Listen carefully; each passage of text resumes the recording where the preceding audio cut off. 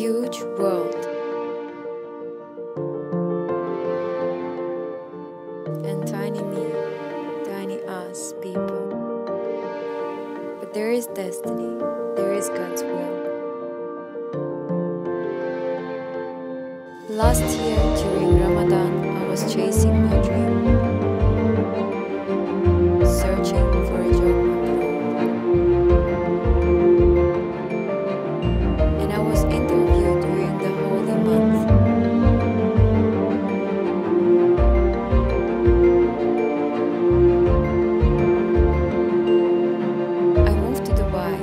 City that became my second home. The city which always has something to offer.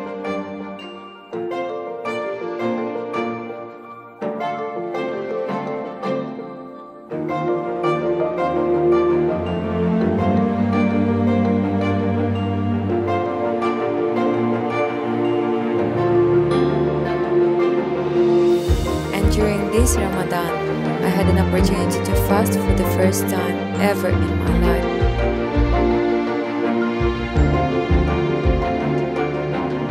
Discover my passion in the sea, being a diver and creating video stories which motivate myself and I hope will motivate others to live their dream.